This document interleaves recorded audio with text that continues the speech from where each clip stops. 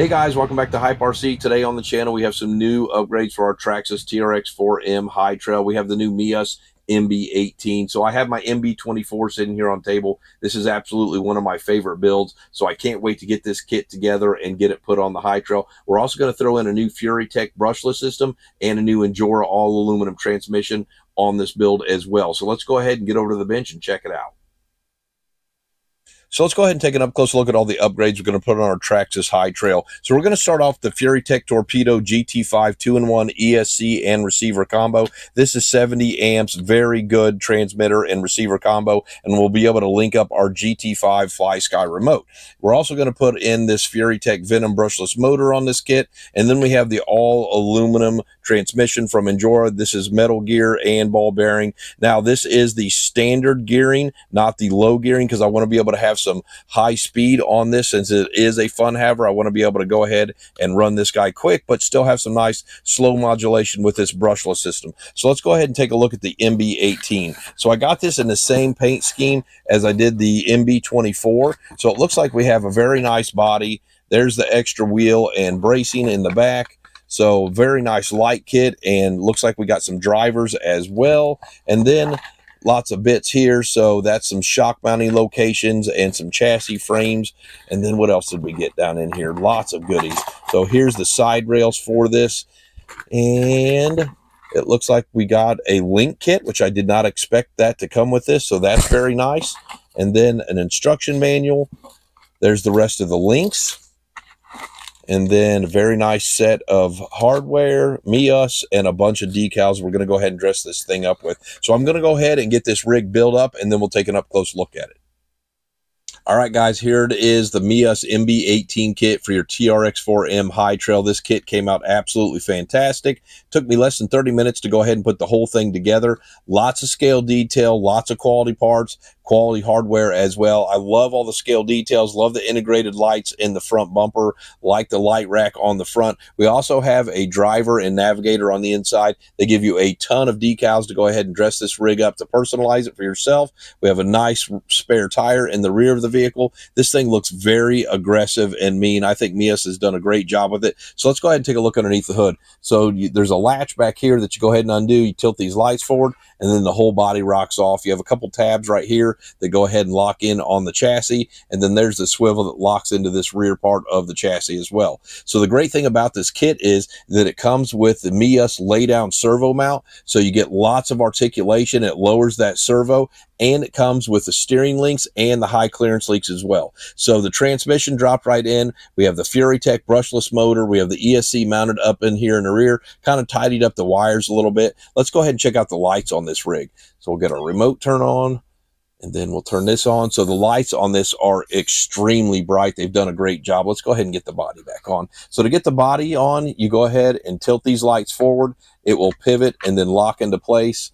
You lock that switch right there and then tilt your lights back up. And there it is. So they have done a great job with this. Very aggressive looking. So let's go ahead and get this guy out for a crawl.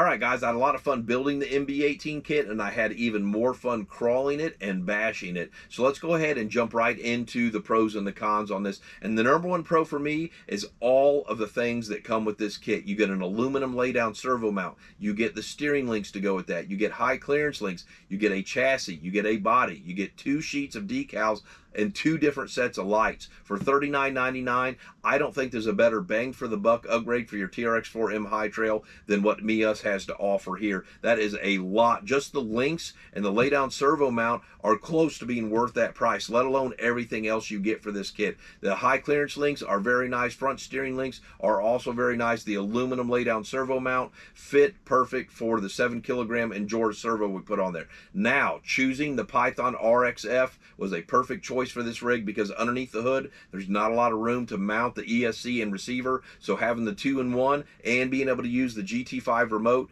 to go ahead and set this up was a perfect choice. So I'm glad I did that. The Venom motor also ran very well. You can see we get a lot of speed on this with a standard metal gears. The ratio is the factory ratio and we were able to slow crawl this rig as well. So all in all, I'm very pleased with the way that this turned out. I really like the MB24 kit, but the MB8 18 kits takes it up a notch from MEUS, and I think they've done a great job. Definitely the best bang for the buck on any TRX4M kit or upgrade that I've paid for so far. $40 for this is an unbelievable price, but nothing is perfect. We do have a few cons with this one. The number one con for me is, is once you put the battery in, it's in there. There's no way to get it out. Unless you want to take out the driver and navigator every single time and remove the screws and pop that out. So I had to dedicate a battery into this, which isn't that big of a deal. I do like to be able to remove my batteries though, but I just uh, take the leads out, charge it while it's in the vehicle, and just leave it in here. But I like to keep track of my batteries, make sure that I take them out of my vehicles. This one, it's just going to have to stay in there.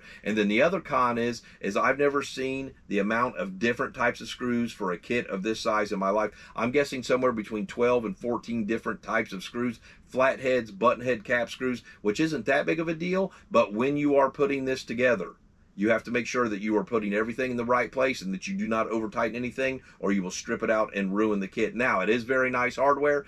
Just pay attention with the instructions when you're putting this together. But all in all, I highly recommend this kit for forty dollars, it's unbelievable everything you get in it. So very happy with that. Love the GT5 and love the Furitek electronic system that I put in this. So don't forget to support your local hobby shops. Bash, crawl, drift, repeat. Hit that subscribe and like button for me and the bell so you can catch my next video. We'll see you next time.